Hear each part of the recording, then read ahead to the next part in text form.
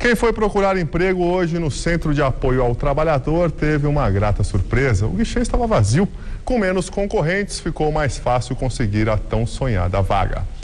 Para Camila, foi uma surpresa. Não esperava, porque eu sempre. As únicas fotos que eu vi era sempre cheio, sempre lotado, né? Então eu me surpreendi bastante quando eu cheguei aqui não tinha ninguém. Quem pensa que na semana entre o Natal e o Ano Novo não há oferta de emprego, se engana. Este centro de encaminhamento da Prefeitura de São Paulo tem 5 mil postos de trabalho com inscrições abertas até sexta-feira. Nós temos vagas na área de comércio, na área de construção civil, limpeza, escritório, motorista. Qual a qualificação exigida? De ensino fundamental completo a ensino médio completo. E o salário varia? O salário varia de 840 reais a 1.200 reais. Temos algumas vagas de nível superior, aí o salário é um pouco melhor, né? Chegando até 3 mil reais. O que faltam são candidatos.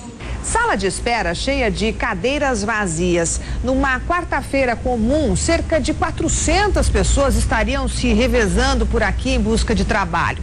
Quem veio hoje teve a vantagem de encontrar oferta de vagas equivalente a de um outro dia qualquer e com muito mais chances de conseguir o um emprego, já que a maior parte dos concorrentes não apareceu. Foi esse o raciocínio de Sandro. Neste fim de ano, entre uma festa e outra, ele descobriu a oportunidade de turbinar as possibilidades. A concorrência depende da pessoa, né? Porque é ela que vai dar o, o perfil da, da vaga, né? Mas tem menos candidatos, menos interessados. Com certeza. Você acha que isso vai te ajudar? Ajuda. Tá bom, boa sorte amanhã. Obrigado. Luciano também está animado. Depois de dois anos fazendo bicos, está confiante de que pode começar o ano com um emprego formal. É diferente que trabalhar na rua, né? É uma coisa que você trabalha na rua, você não tem uma, uma perspectiva assim, alguns benefícios, né? Você com a carteira assinada, você já agora sempre tem outros benefícios, né? Tem coisas que, né? Tomara que dê certo. Tomara que dê certo, né?